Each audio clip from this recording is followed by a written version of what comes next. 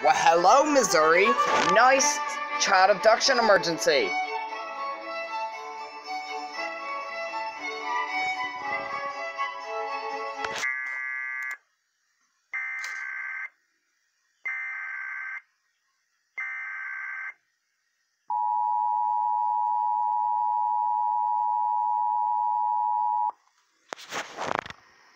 This is an Amber Alert.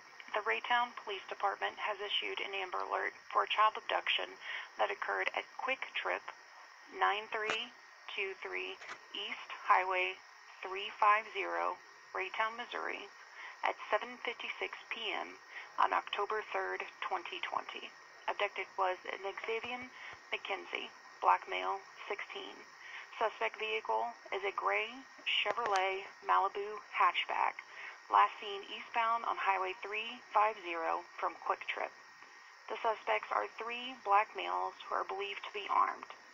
The victim, Xavier McKenzie, Oh, black no. male, 16, 6 feet, 120 pounds, last seen wearing a black hooded sweatshirt and blue jeans.